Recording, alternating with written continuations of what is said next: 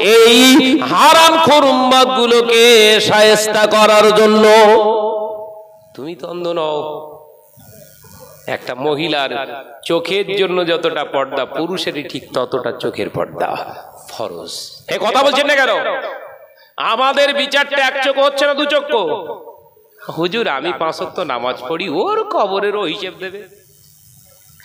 আল্লাহ নবী কুলিজার সাবি হযরত উম্মে সালামা রাদিয়াল্লাহু তাআলা আনহা হাদিসটি বর্ণনা করছে, আল্লাহ নবীর পাক জবানের হাদিস দার নবী রাহমাতাল লিল আলামিন। হুজুর আমার একদিন দুপুর বেলা বাড়িতে বসে আছে, হঠাৎ দেখতে পাওয়া যায় রাসূলুল্লাহ দরবারে একজন অন্ধ সাহাবী আসে আল্লাহর নবী আম্মা জান আয়েশা সিদ্দিক রাদিয়াল্লাহু তাআলা আনহাকে নিয়ে বসে আছে।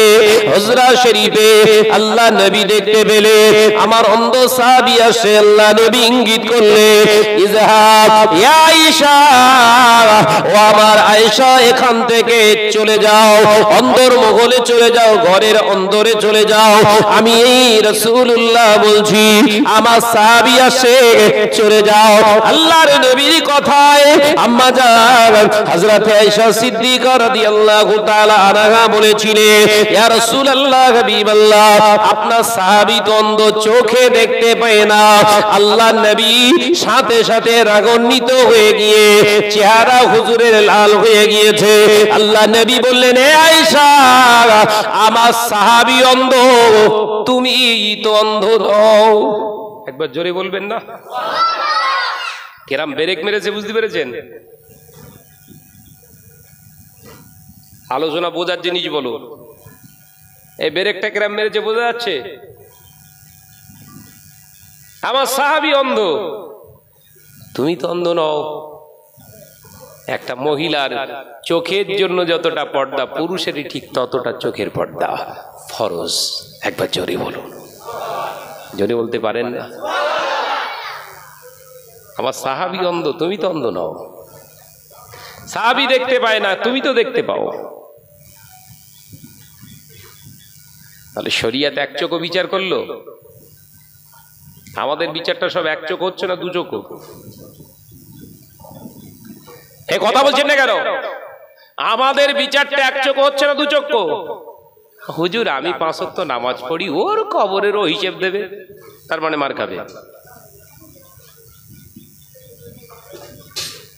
আমার বিবি আমার পাশে শয়ন কক্ষে একসঙ্গে আমরা শয়ন কক্ষে থাকি, রাত্রিতে।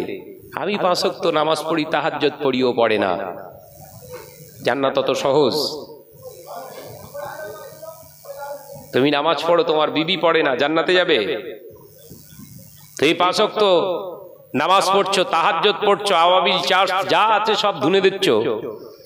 আর ঘরের বিবিটা ওই মহিলা সমিতির স্যারের পাশে যে উঠছে স্যার, আমারটা আগে দেন। জান্নাতে যাবে? চালাকি পেয়েছ? আইসা আমার সাহাবি অন্ধ তুমি অন্ধ নও। বুঝতে পারছেন কথা? বুঝতে পারছেন তো নাকি?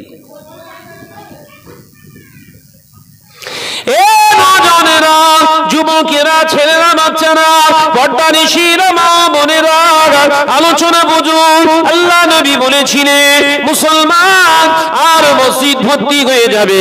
মুসলমান নিজেদেরকে জাহির করবে ইমানদার, কিন্তু আল্লাহর ভয় ওদের ভিতরে থাকবে না। ও বাবা সাহাবিরা, মুসলমানের ঘরে ঘরে ঘরে ঘরে, মুসলমানের ঘরে ঘরে ঘরে ঘরে আর সুদ, বাসা ফেদ বাদা বাসা বেঁধে ফেলবে স্থান দখল করে দেবে সুদখোরের কোন এবাদত কবুল হবে না।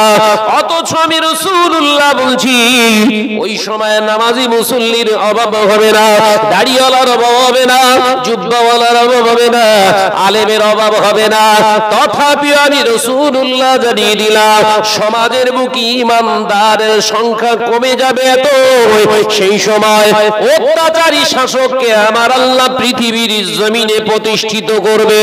কেবল মাত্র এই হারাম খরুম্বাদ গুলোকে সায়স্তা করার জন্য। মনে করছেন খুব মজা আছি হ্যাঁ? আগে খানা, আপনাদের খানা বলে, চল্লিশের খানা? কলমাখানি বলে তো? আগে চল্লিশে, এখন তো সব বলছে বেদা, তো সব চলবে না। শুধু বেদাতের ফতোয়া। আর যে হুজুর ফতোয়া দিচ্ছে এই ক্যামেরার সামনে, এটা হচ্ছে শূন্য মাথায় মারতে হবে কাঠ, জুতো। কথা বুঝতে পেরেছে? শুধু বেদা যা করছে সব বেদা আগে চল্লিশের খানা হতো, প্রথম ডাল দিত। এক সব মেরে দিল। ডাল দিয়েই একতলা ভাত জেলে দিল একদম। তারপরেই আলু রান্না। এই কথা মিলছে তো নাকি? আলু দিয়ে আবার একতলা ঝেড়ে দিয়েছে। তারপরে গোস উফ, তারপরে তো একদম বেটে দিচ্ছে একদম। মানুষের মন কত ফ্রেশ ছিল বলেন তো? খাওয়া দাওয়া কীরকম পাটের ছিল দেখেছেন? আর এখন? বিরিয়ানি কর। তার মানে জম্মের মাখান মাখা, দে। ও যেরকম মাখা, ওর খাওয়া ওই রকম মাখা। কথা বুঝতে পারছেন না? এইটাই, এই খাবারটাই নাকি এখনকার ফ্যাশন মডেল কথা বুঝতে পারছেন না? এখন বাজারে বাজারে সব বিরিয়ানির দোকান। তার মানে ভেজাল বেড়েছে তো। সব বিরিয়ানি খা। আর কোনো কোনো ডাক্তারখানায় যা। ঠান্ডা মাথায় ভাবুন সানাজ ভাইয়ের কথাগুলো। আগে প্রথমে ডাল দিয়ে ভাত খেয়েছেন তারপর আলু দিয়েছে তারপরে গোস্ত দিয়েছে। বিয়ে বাড়িও একই সিস্টেম। হ্যাঁ? মানুষের কোনো কষ্ট হতো না অসুবিধা হতো না। আর এখন একবার দিয়ে চলে গেছে ও আর? ভেতরে যাচ্ছে না যাবে কি করে? যাবে কি করে? ওতে যা ভেজাল মেরেছে ও ভেতরে গেলে ওগল বগল হয়ে যাবে একদম। ওই খাবারটা আমাদের কাছে সুস্বাদু হয়ে গেছে কারণ আমাদের কাছে সুদ জায়েজ হয়ে গেছে তো। আমরাও ভেজাল খাবারটাও কথা বলছেন না কেন? ওই জন্য আল্লাহ বলছে যা কোনো কোনো ডাক্তারখানায় যা। আগে মানুষের একটু অসুবিধা হয়েছে, সে ডাইজিন না কি ছিল একটা বড় লজেসের মতো? পেটে ভুটভাট করছে। ডাইনিদের লজেসের মতো চুষতে চুষতে বেরিয়ে গেছে। এখন শুধু গ্যাসের ট্যাবলেট আট রকমের বেরিয়েছে। এটাই কাজ হচ্ছে না হিস্টিক তারপর ফিস্টিক র্যান্ট্যাক ফ্যান্টাক হ্যাঁ? তারপর সে কি কি বেরিয়েছে সে? নাম বললি এমনি বমি আসে। স্বচ্ছতা জিন্দেগি তৈরি করুন।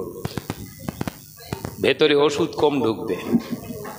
এতে ব্যয় সুন্নাতে নাবাবির উপরে জীবন গঠন করুন। ভিতরে ওষুধ কম ঢুকবে। এতে ব্যয় সুন্নাতটাই হলো প্রকৃত ট্রিটমেন্ট একবার জোরে বলুন। জোরে বললেন না? এতে ব্যয় সুন্নাতে নাবাবির উপরে জীবন প্রতিষ্ঠিত করুন। ডাক্তারের কাছে আপনাই যেতে হবে না। আল্লাহর রহমত আপনার কাছে থাকবে। একবার জোরে বলুন আজকের মুসলিম সমাজে রহমতের অভাব পড়ে গেছে। কারণ সুন্নতের তাবেদারিতে আমরা নেই। আমরা ভেবেছি দাড়ি রাখা সুন্নাত মাথায় টুপি দেওয়া সুন্নাত। শুধু এইগুলো সীমাবদ্ধ। না! হারাম থেকে নিজেকে পরেজ করাটা মিথ্যা কথা বলা মিথ্যা কথা বলা চগলখুরি করা পরনিন্দা করা গিবত গিল্লাত করা এগুলো সম্পূর্ণ হারাম। এ থেকে নিজের জবানকে সেভ রাখা হচ্ছে রসুলের সুন্নাত। একবার জোরে বলুন। জোরে বলছেন না? তেষট্টি বছরের জিন্দগিতে ওমার রহমাতাল্লিল আলামিন তেষট্টি বছরের জিন্দগিতে জীবনে একটা মিথ্যার আশ্রয় গ্রহণ করেননি। একবার জোরে হবে। জোরে বলছেন না। আমার রহমাতাল্লিল আলামিন জীবনে তেষট্টি বছরের জিন্দগিতে একটা জীবনে কোনোদিন পরনিন্দা করেননি। একবার জোরে বলুন। কাউকে আঘাত দেয়নি। আমরা সেই নবীর উম্মাদ। আমরা নামাজও পড়ি, আঘাতও মারি। আমরা নামাজও পড়ি, পৃথিবীর জমিনে পরের সম্পত্তিতেও ভাগ বাটোয়ারা করি। ভাইরা, আমার নজনেরা